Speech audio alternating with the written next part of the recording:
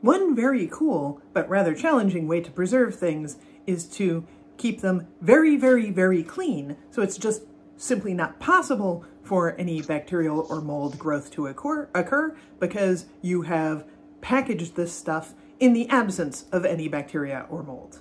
This is in fact what natural systems do on their own. The reason why your tomato is probably fine sitting on the counter for a little while, as long as its skin is intact, is because the skin is keeping everything out and there weren't bacteria or molds on the inside of the tomato in the first place.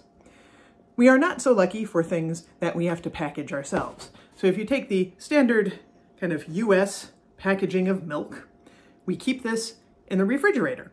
It's been pasteurized to be sure that there are very, very, very few, or perhaps, eh, no, not down to zero, but very, very, very few microorganisms present, and uh, ideally no harmful microorganisms present. But we still have to keep it into in the refrigerator to slow any microbial growth. And this in part is because we keep opening it and closing it again, exposing it to the air. Uh, but uh, those of you who have traveled might have seen the internationally common packaging of milk like this. This doesn't require refrigeration until it's opened, at which point you might want to keep it in the fridge afterwards. In fact, you have to, or it'll have bacterial growth the same way the regular carton of milk does.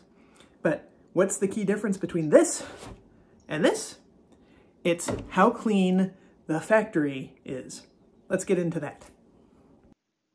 This approach to preserving food by keeping it clean is the basis of jarring and canning and, in fact, uh, most bottling. So, in this approach, the step that kills the microbes and the step that makes the package clean uh, are pretty much the same step. Obviously, uh, well, maybe not obviously, the jar that you're working with or the can have uh, or the bottle have started out clean, and what we filled them with was cleaned to the best of our ability, uh, and then it is placed in, say, boiling water if you're doing this at home. Um, and I should note, often you place it in the water before it is boiling, then bring it up to boiling so you don't have any shocking on the material. Uh, or it's inside of a pressure cooker. So not only is the water boiling, but it's boiling at a higher temperature than 100 C. Uh, in an industrial setting, things tend not to be, uh, may not be immersed in a water bath. Uh, something else may be used, uh, like a special industrial oven or a steam oven that uh, assures the same temperature path, um, but can do so in a consistent way that doesn't involve getting everything wet and then needing to dry it off afterwards. Uh, you can imagine some of these look a lot like the oven that you might see at Domino's, you know, the, the long heated tube, for example. Um, or you can have a steam bath that is similar to that. Um, and in the video on killing stuff, you will recall we talked about the heat transfer necessary to ensure that even down to the center line, we have uh, deactivated all of the microbes. And in this step in particular, which is called processing, and you say, wait a minute, processed food? And I'm like, yeah, this is part of where uh, these two words mean similar things in this setting. Uh, what we are trying to do is make sure that now in our sealed container, and this container is what we call hermetically sealed. So that means it's not just sealed in a way that's convenient so that uh, if the bottle tips over, stuff doesn't get everywhere. Uh, no, it is sealed in a manner that prevents bacterial contamination. So microbes literally cannot get back into this. So uh, the cans are not just merely lightly crimped, but they are in fact uh, some form of chemically bonded shut. There is, uh, for a good jar seal, there is a similar polymer lining doing the job here and here. Uh, next time you open a bottle, uh, go look inside that lid and you'll see that sitting there. And um, I'm going to click on the next slide. I'm going to show you that uh, these factors, even in an industrial setting, are not left up to the engineer to figure out. Uh, obviously, the engineer should check and make an estimate of what the materials are appropriate to be used for getting a good seal, and should also uh, check that the times and temperatures seem reasonable. But really, these are uh, by and large completely specified by uh, regulations. So I'll show you the web page for that on the next page. Here we are on the FDA website, and we are looking at a small piece of a much, much larger document. Here we are, Guide to Inspections.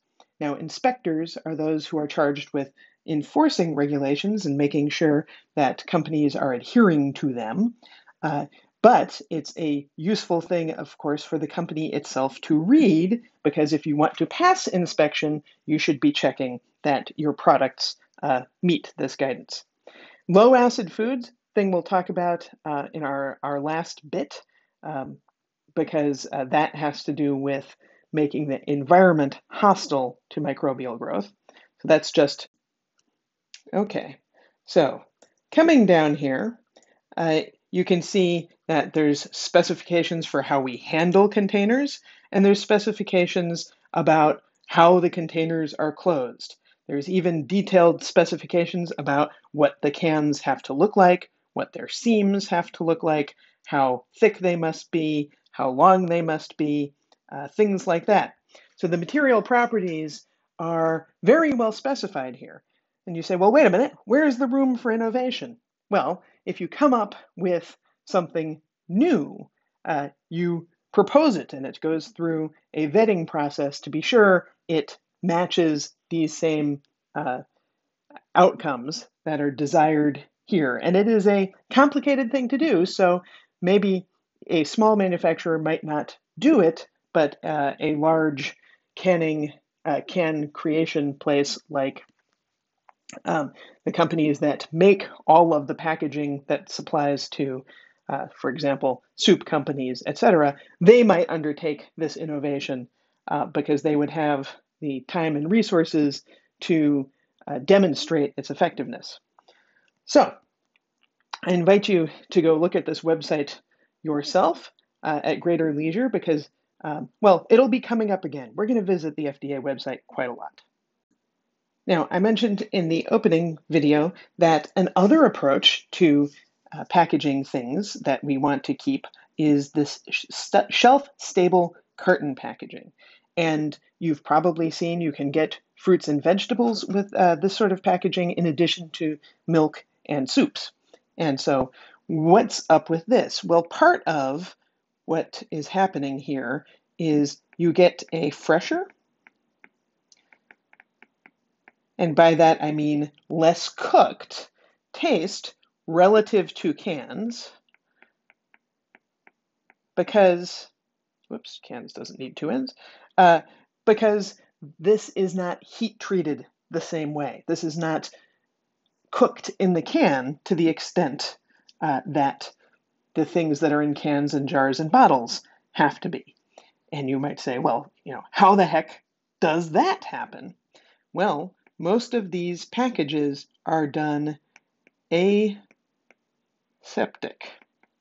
What does that mean? So, A, absolutely none, septic, uh, microbial contamination.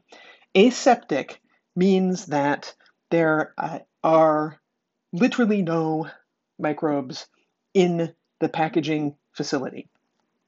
So once you have done things that makes your product clean, so the, the product is, for example, flash pasteurized, and then it goes into the filling, and instead of, uh, let's see if I can find a picture here.